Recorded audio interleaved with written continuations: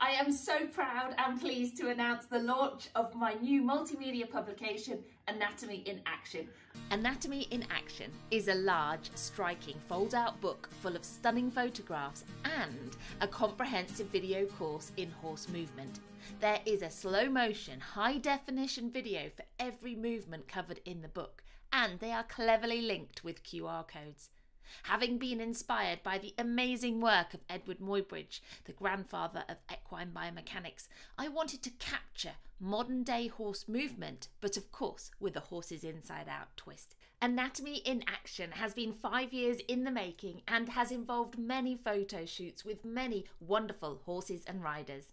Suggesting ways you can apply the information to your own or your client's horses makes this a valuable resource for trainers, coaches, therapists, vets, students, horse enthusiasts, and riders from all disciplines. I do hope you enjoy it.